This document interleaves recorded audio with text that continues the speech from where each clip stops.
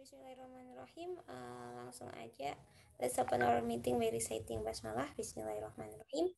Uh, sebelumnya mohon maaf lahir dan batin ya karena Umi terlambat lagi. Sejujurnya Umi udah pengen bikin dari tadi tapi Umi gak kuat akhirnya Umi tidur dulu. Oke, jadi uh, di sini kita akan um, membahas 30 soal dari Umi Ayu ya yang disesuaikan dengan kisi-kisi pada wajib.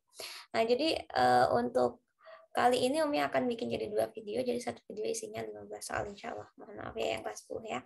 Oke, nomor satu, pasangan berturut berikut yang merupakan relasi Nabi dan juga kitabnya. Nah ini ada empat kitab ya, Taurat, Zabur, dan Injil, dan Al-Quran. Kemudian kita punya uh, Taurat itu di Nabi Musa, kemudian Zabur Nabi Daud ya, kemudian bisa dengan Injil dan Al-Quran dengan Muhammad SAW. Maka kita punya ini benar dan Nabi Daud alaihissalam dengan Zabur juga benar. Oke, untuk kasus ini bonus nih ya kayaknya.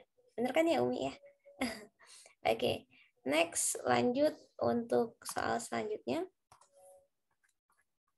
Ya, Perhatikan relasi berikut. Jika relasi dua anggota himpunan tersebut adalah nama surah dan jumlah ayatnya, maka relasi di atas merupakan apakah relasi merupakan fungsi? Nah, kita lihat um, ciri-ciri dari fungsi itu ketika kita lihat di himpunan domainnya itu nggak ada yang nggak punya pasangan dan pasangannya tepat satu atau di sini nggak ada yang bercabang. Nah kita lihat di sini semuanya punya pasangan dan nggak ada yang bercabang maka di sini dia adalah fungsi. Jadi dia jawabannya iya karena apa? Karena anggota A tepat terpasang satu-satu pada himpunan B. Oke, good ya. Nah, jadi bukan uh, meskipun dia pun alasannya juga harus benar. Oke, jadi jawabannya yang C. Next, misalkan himpunan A bilangan ganjil kurang dari 8, maka kita punya A itu adalah bilangan 1, 2, eh sorry, ganjil nggak ada dua ya. Oke. okay. Karena di sini nggak ada apa namanya keterangan bahwa dia adalah bilangan uh, asli jadi kita mulainya dari minus dari minus 3 minus 1 kemudian 1 3 5 7 ya. Kan kita punya kurang dari 8 kan? Kemudian B adalah huruf vokal. A B E A I U E O. Ada 5 ya. Nah perhatikan banyak pemetaan yang mungkin dari A ke B. Nah, ini kan nggak mungkin ya, karena uh, di sini A itu tak berhingga, jadi di sini uh, bukan bilangan ganjil. Jadi perhatikan, kalian harus pintar dalam menilai soal. Ini bukan bilangan ganjil, tapi bilangan asli ganjil. Baru bisa kita kerjakan. Jadi kalau ini bilangan ganjil, kita nggak bisa kerjain, karena bilangan ganjil itu bisa bilangan bulat ya. Nah, jadi di sini kalau ini diganti soalnya dengan bilangan asli ganjil, maka kita mulainya dari 1, 1, 3, 5, 7. Maka kita punya NA itu adalah 4 dan juga NB itu adalah 5. Ya, kita punya banyaknya fungsi dari A ke B ya, dari A ke B itu adalah NB pangkat NA. Jadi kita punya 5 pangkat 4 ya. Jadi eh, kalau kita punya dari A ke B, maka kita punya NB pangkat NA. Nah, berarti kita punya 5 pangkat 4 itu adalah 5 kali 5 kali 5. Kita punya 5 kali 5 itu 25. 25 kali 25 itu kita punya 625. Jadi banyaknya fungsinya ada 625. Ya, clear ya? Insya Allah. Nah, Oke, lanjut di antara fungsi-fungsi berikut yang merupakan fungsi injektif. Apa itu fungsi injektif nih? Nah, jadi kalau kita menyatakan dua himpunan itu fungsi atau bukan, itu kan dengan cara melihat domainnya ya. Ya. Jadi kalau kita jadi kalau kita punya himpunan A dan kita punya himpunan B, nah kalau kita mau lihat apakah A itu eh, ke B itu fungsi atau bukan, jadi A ke B itu fungsi atau bukan, kita kan fokus ke domain. Tapi untuk menentukan fungsi itu eh, injektif, kemudian surjektif eh, atau apa namanya, yang terakhir bijektif, nah itu tuh kita itu menggunakan ini solih solihah hmm, ngelihat B-nya ya. Jadi kalau mau menentukan dia injektif, surjektif atau bijektif dilihat B-nya. Jadi kalau di B-nya itu ada yang bercabang, ya ada yang kayak gini ya, berarti dia tidak injektif ya. Dia nggak injektif. Terus kalau yang di B ada yang jomblo, ada yang nggak punya pasangan, berarti dia tidak surjektif. Sedangkan kalau bijektif atau korespondensi satu-satu itu adalah uh, A sama B uh, banyaknya anggotanya sama kemudian uh, terkoneksi satu-satu gitu. Nah, jadi kalau injektif itu nggak ada yang bercabang di B, itu injektif ya sekali lagi.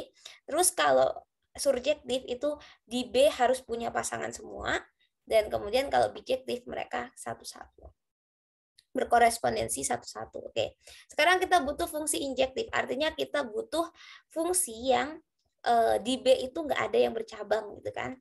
Nah, sekarang kita punya fx sama dengan 7. Nah, cara ngeceknya gini, Solih, Solihah. Nah, kalau misalkan kita nggak bisa ngebayangin ya, kalau misalkan kita nggak bayangin, kalian bayangin aja kalau kita punya fx sama dengan 7, kalau punya umi uh, x-nya punya di A itu 1 sama 2, maka dia akan sama-sama dibawa ke 7. Nah, ini artinya apa? Artinya B-nya bercabang. Ini A, ini B. Nah, fx sama dengan 7. Artinya untuk setiap x yang diinputkan ke sini, ini kan fungsi konstan nih. Hasilnya 7. Berarti dia ada yang bercabang di sini. Maka di sini pasti bukan fungsi injektif. Maka yang A bukan. Kemudian yang B, uh, fx sama dengan 2x. Oke, kita punya fx sama dengan 2x. Kita punya di sini fx sama dengan 2x. Kalau A-nya 1 dan 2, kita punya, oh, 1 dibawa ke 2, 2 dibawa ke 4 ya, karena fx sama dengan 2x. Jadi 2 kali anggota A, x-nya kan. Berarti 2 kali 1, 2. 2 kali 2, 4. Dan seterusnya. Nah, ini berarti punya komponen dia injektif ya. Maka di sini B injektif. Kemudian yang C, kenapa yang C bukan injektif, Mi? Nah, kalau yang C kita buktikan dia bukan injektif tuh gini. Umi punya di sini A-nya min 1 sama 1. Nah, kalau kita pakai min X kuadrat, maka min 1 kan dibawa ke min X kuadrat, jadi min dari min 1 kuadrat itu kan min 1. Kemudian 1 dikuadratin satu, tapi min dari satu kuadrat itu juga min min satu. Jadi mereka berdua min satu dan satu sama-sama dibawa ke min satu. Maka di sini ada yang bercabang, dipetakan ke satu bilangan yang sama. Nah, begitu juga yang D dan juga yang E. Mereka juga kita punya min 1, kalau masukin min 1 sama 1 juga hasilnya sama, maka dia bukan fungsi injektif. Sama juga X pangkat 4, kalau kita masukin min 1 dan 1 hasilnya juga sama, maka dia bukan fungsi in, injektif. Ini bukan, ini bukan, dan ini bu, bukan. Oke, jadi kalau injektif, ingat di B nggak ada yang boleh bercabang. Kalau subjektif, di B nggak ada yang boleh jum, jumlo. Kalau bijektif mereka berkorespondensi satu-satu. Nah, ini contoh fungsi bijektif soli-solihah. Ya. Oke. Good. Next. Nomor 5. Suatu fungsi dinyatakan dengan fx sama dengan ax plus 3b dan F3 sama dengan 10, F5 sama dengan 23, maka nilai A plus B. Perhatikan di sini, kalau Umi punya definisi fungsi dari Fx sama dengan Ax plus 3B, maka Umi punya F3 itu adalah A kali 3 ditambah 3B. Dari mana Mi maksudnya? Maksudnya adalah uh, Umi punya di sini 3 itu diganti X-nya kan? X-nya Umi ganti 3 di sini, maka yang di sebelah kanan, ya kalau X sebelah kiri Umi ganti 3, maka di sebelah kanan ikut diganti 3. Sama dengan se 10. Sebenarnya ini gampang banget ya. Kalau kita punya 3, in 3, maka kita punya 3A plus 3B sama dengan 10. Karena yang ditanya A plus B, maka kita punya 3 kali A plus B sama dengan 10. Maka kita punya A plus B sama dengan 10 per 3. Selesai ya? Kan yang ditanya A plus B. Oke, okay, tapi nggak ada jawabannya di APCian ya. Mungkin ini uh, salah maksud soal. Jadi uh, kalau di sini Umi nggak perlu nyari nilai A-nya dulu berapa, nilai B-nya dulu berapa, udah ketemu. A plus B-nya 10 per 3. Ya. Jadi uh, kayaknya ada something miss di sini uh, dari pembuat soal ya. Nah, jadi kalian berhati-hati di sini kodarullah nomor 5 bisa dikerjakan dengan cara seperti ini. Tapi sebenarnya maksud dari soal ini mungkin ke ini sih, solih, solihah dikerjain pakai eliminasi dan substitusi seperti yang Umi pernah bahas di uh, pembahasan soal tahun sebelumnya di kelas, waktu kelas daring terakhir Umi. Ya. Oke, okay. kemudian next nomor 6. Nomor 6 kita punya fx sama dengan 3x plus 8 kemudian ditanya f2 gampang ya f2 kalau x yang sebelah kiri diganti 2 maka kita punya di sini 3 kali 2 plus 8 maka kita punya di sini 6 plus 8 sama dengan 14 ya selesai oke gampang banget ya oke jadi uh, kalau kita ganti x sebelah kiri maka x sebelah kanan juga ikut uh, kita substitusikan bilangan yang sama Next nomor 7. Oke, kok jadi gampang semua nih? Oke, nomor 7. Suatu fungsi dinyatakan dengan ini. Oke, ini sama ya dengan nomor yang tadi sebelumnya nomor 5 ya. Kita punya F5 itu sama dengan A kali 5 plus 2B. Maka Umi punya di sini 5A plus 2B. Nah, terus F5 itu hasilnya 20. Maka Umi punya 5A plus 2B itu sama dengan 20, ya kan? Kemudian yang kedua, Umi punya F11 itu adalah A kali 11. Ingat, kalau Umi punya 11 di kiri, maka 11 di kanan juga, plus 2B. Maka Umi punya di sini 11A plus 2B sama dengan berapa? 32. Nah, setelah Umi punya ini, maka Umi bisa gunakan metode eliminasi. Jadi kita eliminasi si Eh, kita lihat dulu 5A plus 2B sama dengan 20 dan 11A plus 2B sama dengan 32. Perhatikan di sini. Uh, Umi akan mengeliminasi variabel yang uh, menurut Umi paling gampang buat dimusnahkan ya. Ya salah satu ciri-cirinya adalah vari, uh, koefisien dari variabel persamaan yang atas dengan yang bawah sama atau kalau enggak sama Umi akan pilih yang kecil. Nah, di sini 2B sama punya koefisien 2 ya, maka Umi akan mengeliminasi B. Apa sih ini arti dari mengeliminasi B? Maka mengeliminasi B itu artinya mengenolkan si 2B ini. Jadi 2B atas sama 2B bawah karena sama-sama positif di sini. Untuk mengenolkannya kita butuh di dikurang ya. Jadi untuk mengenolkannya kita kurangi. Nah, jadi kita punya 5A dikurangi 11A itu min 6A, kemudian 2B dikurangi 2B 0, kemudian kita punya 20 dikurangi 32 itu min 12. Kalau kita punya A-nya sama dengan min 12 per min 6 sama dengan 2. Nah ini maksud dari soal yang nomor 5 tuh maksudnya mungkin si pembuat soal ingin uh, kita ngerjain dengan cara seperti ini. Tapi kalau darulah ketika Umi Marang ngerjain tadi nggak sampai kayak gini pun bisa selesai gitu kan. Nah, kita punya di sini dua. Maka kalau kita udah dapat dua, Umi akan ambil salah satu dari persamaan ini. Biasanya Umi ambil yang paling kecil ya. Paling kecil koefisiennya supaya mudah dihitung. Umi ambil yang 5A plus 2B sama dengan 20. Kemudian substitusikan, ya jadi metodenya substitusi.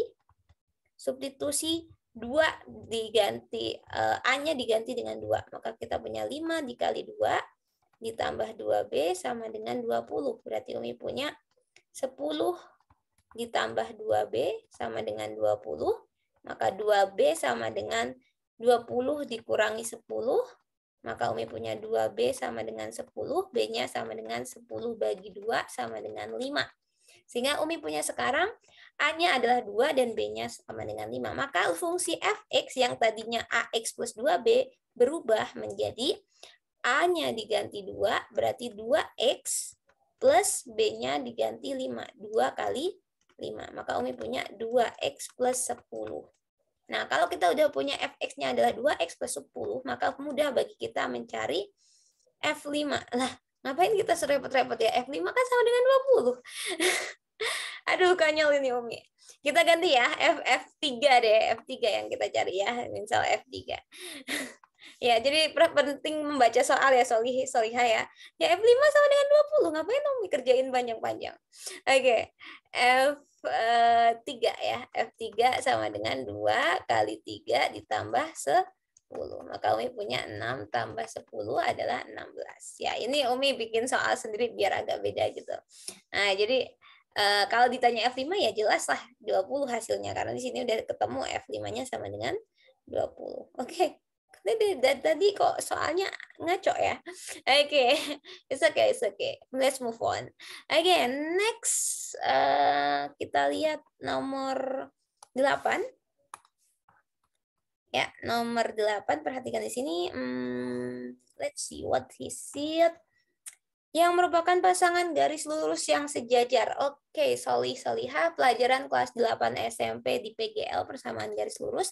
Ciri garis lurus itu sejajar atau tegak lurus itu dilihat dari gradiennya. Jadi kalau Umi punya dua garis lurus, jadi kalau dia sejajar, sejajar itu yang kayak gini. Kalau ini Umi punya M1, ini punya M2, maka Umi punya e, cirinya adalah M1 sama dengan M2 atau gradiennya itu sama dengan ya, sama ya. Terus kalau Umi punya garis lurus itu kayak gini, tegak lurus seperti ini, maka kita punya M1 dikali M2 sama dengan min min 1. Nah, pertanyaannya itu eh, kapan kita menyatakan M nih atau kapan kita dapat gradien nih? Nah, karena kita punya di kelas 8 itu rumus garis lurus itu Y sama dengan MX plus C, di mana M itu adalah gradien, maka kalau kita punya eh, rumus-rumus seperti ini, maka selalu kita bentuk kalau mau cari gradien itu bentuk persamaan ini, persamaan umumnya. Sehingga kalau kita punya 4Y sama dengan 8X plus 20, maka kita harus bentuk persamaan umumnya. Artinya supaya dapat Y sama dengan sesuatu, kita harus bagi kedua ruas dengan 4 ya. Supaya 4Y dibagi 4 kan jadi Y. Kemudian yang ini 8x plus 20 jadi uh, dibagi 4 jadi 2x plus uh, 20 bagi 4 5. Nah, jadi kita buat semua uh, dari I1 sampai I4 ini ke bentuk seperti ini ya. Insya Allah bisa dipahami ya. Nah, kemudian yang 6Y maka kita punya di sini Y sama dengan 18 bagi 6 3x plus 10 per 6 ya ya tulis 10 per 6 nggak ngaruh juga kan? Oke kemudian yang di sini 3y dengan ini kita punya y-nya sama dengan min 2x ya 6 bagi 3 min, min 6 bagi 3 maksud Umi min 2x plus 10 per 3 ya jadi abaikan aja bilangan yang di belakang x ini karena enggak kita lihat, kita cuma lihat gradiennya. Kemudian yang terakhir kita punya di sini Y sama dengan 12 bagi 6, 2X plus 15 per 6. Nah, perhatikan kita mau cari yang gradiennya sama. Berarti kita punya di sini yang gradiennya sama itu ada positif 2, dengan negatif 2 nggak sama ya. Berarti kita punya dengan positif 2. Jadi yang sama gradiennya adalah I1 dan I4. Jadi 1 dan 4 ya. Jawabannya di 1 dan 4. Oke, insya Allah bisa dipahami ya. Pelan tapi pasti. Good. Next, kita lihat tentukan kodomain dari fx sama dengan x kuadrat plus 3. Oke, okay, satu yang pasti eh, ketika kita berbicara tentang domain dan kodomain, maka kita akan berbicara tentang um, namanya adalah kalau kita menentuin kodomain atau untuk menentukan kodomain itu kita harus berbicara tentang range. Karena kodomain itu di dalamnya harus termuat range ya. Harus ada apa peta dari fungsi-fungsi ini atau bayangan dari fungsi uh, hasil fungsinya. Nah, di sini perhatikan paling aman kalau mau menentukan kodomain itu ini ya. Dari negatif tak berhingga sampai tak berhingga ini salah ya. Simbolnya salah ini adalah maksudnya itu adalah interval. Interval itu kurungnya kurung biasa solih solihah atau pakai kurung siku juga boleh. Jadi kalau tiga ini berarti tiganya masuk. Ini tak hingga kayak gini terus kalau ini bisa kayak gini. Jadi kalau misal Umi punya 0 kurang dari X kurang dari sama dengan 3 itu cara nulisnya itu 0, tiga tapi yang tiga pakai kurung siku karena di sini ada sama dengannya. Itulah. Ini uh, di kelas 10 udah pernah menjelasin waktu membahas nilai mutlak. Ini ini interval penulisan interval. Coba ini salah. Ya ini ditulis menggunakan kurung kurawal salah ya. Paling gampang ketika kita dapat soal nomor 9 Umi of course akan membah uh, memilih jawaban yang A. Kenapa? Karena negatif tak hingga sampai tak hingga itu pasti menjadi kodomain loh unlimited negatif unlimited sampai unlimited pasti range-nya termuat di dalam situ oke tapi soalnya akan Umi ganti bukan kodomain tapi Umi ganti sebagai range ya nah kalau range beda lagi range itu hanya uh, produk-produk yang punya peta. Jadi kalau misalkan Umi punya di sini di himpunan B, B itu kan kode main nih. B itu kode main. Kode main di dalamnya itu kalau kalian bisa ngebayangin penjelasan Umi yang di kelas, maka di sini kita punya di dalam sini itu ada range. Artinya apa? Yang lebih besar yang mana? Yang lebih besar adalah kode main. Makanya kalau untuk menentukan kode main dari fungsi ini, Umi akan langsung milih A. Kenapa? Kan boleh sebesar apa pun kodomain itu. Nah, tapi kalau untuk menentukan range, Umi akan lihat fungsinya. Oh, fungsinya ternyata X kuadrat plus 3. Artinya apa?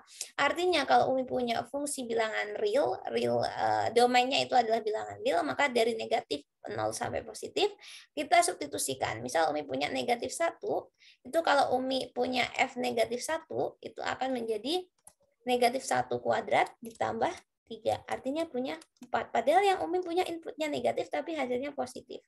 Kemudian kalau Umi punya satu Umi juga punya satu ditambah tiga yaitu empat Artinya kita di sini bisa tahu, oh ternyata mau dia negatif 8 kah, negatif 10 kah, dia akan mendapatkan hasil yang positif.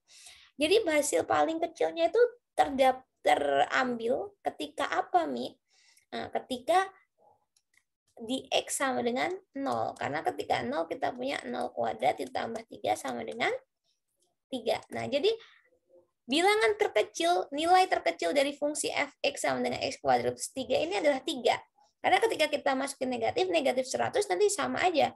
100 kuadrat ditambah 3, ya kan?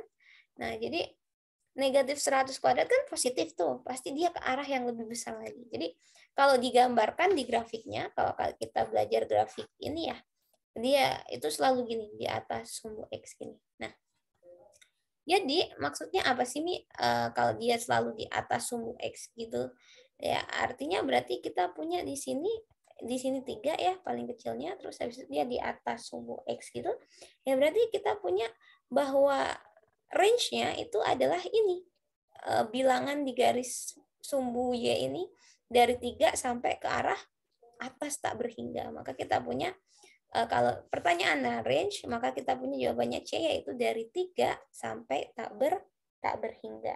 Nah, itu kalau range. Tapi kalau tadi masih kodomain, Umi akan tetap jawab A. Karena nggak ada yang boleh menyalahkan Umi ketika Umi menjawab A, karena kodomain itu besar, ya lebih besar dari range. Perhatikan ya, di sini Umi menjelaskan soal yang salah ya, supaya besok kalian uh, lebih teliti lagi dalam mengerjakannya. Oke, next nomor 10. Diketahui suatu grafik fungsi kuadrat mempunyai titik puncaknya yaitu oke. Okay. Kalian suka banget cara cepat. Oke, okay, kalian suka banget cara cepat sehingga Umi akan berikan kalian cara cepat. Di kelas 9 kita udah pernah belajar tentang titik puncak dari sebuah fungsi kuadrat. Jadi fungsi kuadrat itu bentuknya parabola ya, selih, selihah ya. Jadi parabola itu bentuknya bisa gini, bisa gini, dan rumus fungsi kuadrat itu rumus umumnya Y sama dengan AX kuadrat plus BX plus C. Di mana ini itu terjadi ketika A-nya positif, ya senyum itu terjadi ketika A-nya positif, dan cemberut itu terjadi ketika A-nya nih negatif. Jadi kalau misalkan kita punya di sini A-nya positif, berarti bukan titik puncak dong ya, tapi titik lem lembah ya, karena dia tersenyum. Jadi nggak mungkin punya puncak, tapi dia punya lem lembah. Nah, di sini cara mencari titik puncak maupun titik lembah itu menggunakan rumus XP. Apa XP, Mi? X puncak. Artinya absis yang membuat dia eh, jadi puncak. Tahu kan absis itu nilai X-nya. Jadi kan kita kalau punya titik di sini itu kan X, Y. Ya, ini kan selalu pasangan X, Y gitu ya. Nah, X, Y ini X, Y ini itu tuh X-nya itu ini, XP ini. Jadi XP, YP ya. XP itu adalah eh, kita punya rumusnya itu adalah eh, min B per 2A. Oke. Sedangkan YP itu adalah rumus ini ax kuadrat plus bx plus c dimasukin sama xp. Jadi kita punya uh, fungsi xp. Ya, jadi fungsi y-nya dikerjakan pada xp. Contoh, untuk kasus ini maka Umi punya xp-nya sama dengan apa? Ngikutin rumus min b berarti di sini posisinya b ya. b itu adalah koefisien dari x berarti Umi punya min 4 per 2a berarti Umi punya 2 kali 2. Maka Umi punya 4 bagi 4 yaitu 1 ya. Jadi XP-nya 1. Sedangkan YP-nya, YP-nya adalah mengganti X ini, mengganti X ini, jadi ini X-nya Umi ganti dengan 1. Maka Umi punya 2 dikali 1 kuadrat plus, eh sorry, min 4 kali 1. 1 kuadrat min 4 kali 1 ditambah 7 ya. Jadi kita punya 2 kali 1 kuadrat min 4 kali 1 tambah 7. Berarti 2 min 4 plus 7. 4 hmm, di sini kita punya min 2 tambah 7 yaitu 5 ya. Jadi kita punya pasangannya itu adalah 1,5 ya. Jadi perhatikan ya. Jadi kita pertama punya rumus XP itu min B per 2A. Setelah XP-nya nemu, maka rumus ini X-nya kita ganti dengan nilai XP yang kita udah ketemu tadi. Ya. Oke, okay. next. Oke. Okay. 11. Tentukan domain fungsi dari 3x min 9. Oke, seperti yang kita tahu bahwa dalam fungsi rasional menentukan domain adalah melihat di penyebutnya. Penyebut nggak boleh 0. Min 9 minus X kuadrat tidak boleh sama dengan 0. Artinya apa? Artinya kita punya di sini 9 tidak boleh sama dengan X kuadrat. Artinya X-nya nggak boleh sama dengan, ingat X kuadrat jadi X. Berarti 9 plus minus akar 9. Berapa akar 9? Kita punya plus minus 3 nggak boleh sama dengan X. Artinya apa? Artinya X nggak boleh sama dengan 3 atau X juga nggak boleh sama dengan minus 3. Artinya, domain yang bisa untuk fungsi ini, 3X min 9 per 9 minus X kuadrat itu semua bilangan real kecuali 3 dan negatif 3. Oke, kita lihat. Cara simbolisnya gimana ya? Kayaknya Umi udah pernah jelasin di kelas ya. Kita lihat di sini simbolnya, ya di sini ya. R dikurangi min 3 dengan 3. Oke, good. Nomor 12 diketahui suatu fungsi rasional fx, nah kita punya 5x plus 3 per 2x min 7, maka asimtot tegaknya. Nah ini agak ngeselin ya. Kenapa? Karena untuk membahas asimtot sesungguhnya kalian perlu belajar limit dulu. Nah ini adalah salah satu bentuk soal yang Umi nggak suka karena nggak sesuai dengan runtutan materi. Tapi nggak apa-apa. Uh, mungkin kalau misalkan kita belajar fungsi rasional, kita butuh buat tahu asimtot itu apa. Jadi asimtot itu apa sih, Mi? Nah, asimtot itu tuh kalau kalian punya grafik ya, punya grafik, misal Umi punya gini. Dia bentuknya itu eh, mendekat, mendekat, mendekat, mendekat, mendekat sama sesuatu, tapi dia nggak pernah nyampe.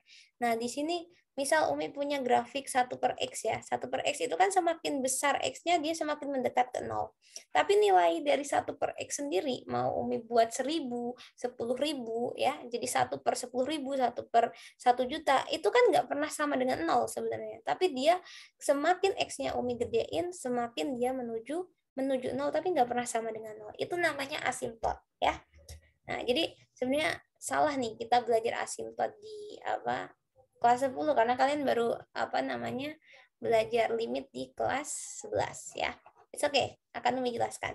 Jadi kalau 5x plus 3 per 2x min 7, maka asimtot tegaknya, jadi asimtot itu ada dua, ada asimtot datar dan asimtot tegak. Asimtot datar itu yang tadi yang Umi jelasin, yang dia mendatar seperti ini, dan asimtot tegak itu yang tegak seperti ini.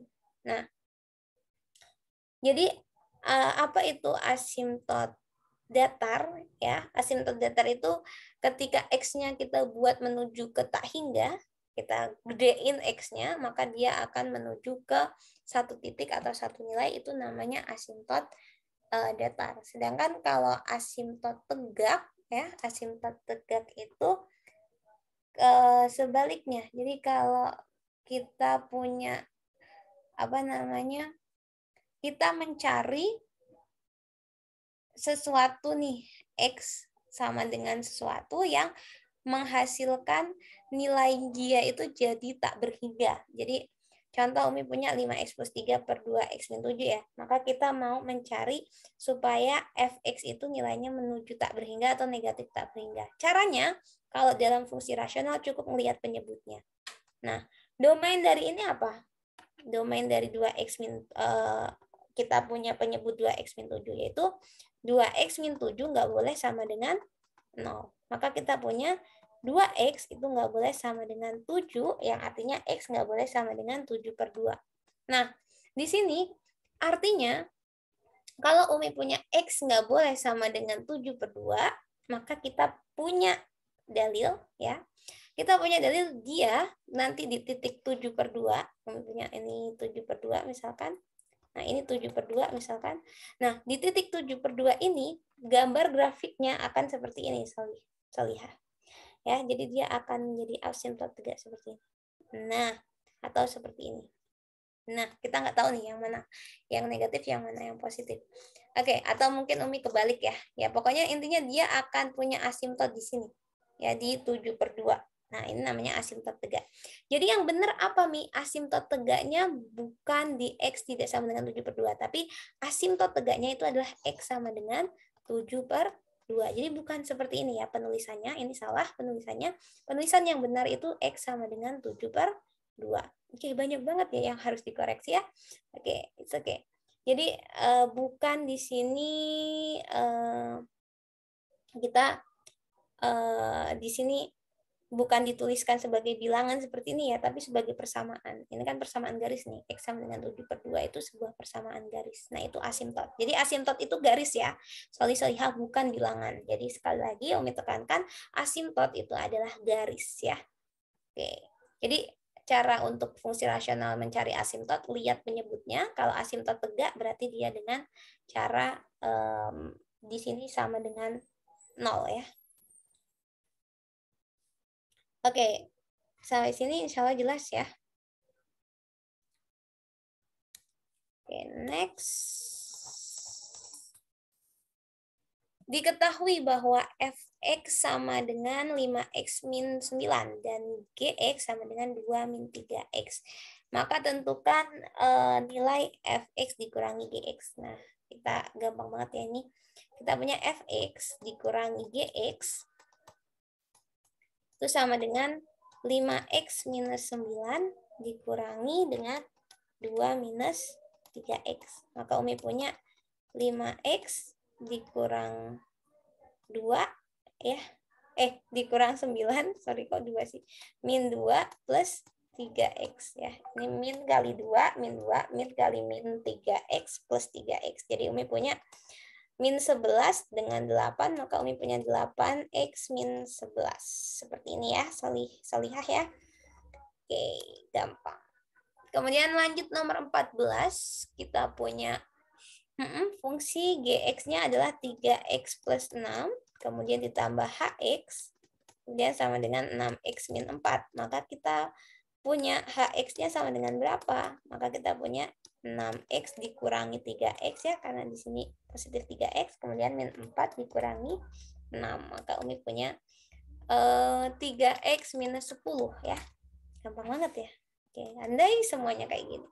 Oke, last nomor 15 sebelum kita lanjut ke video kedua.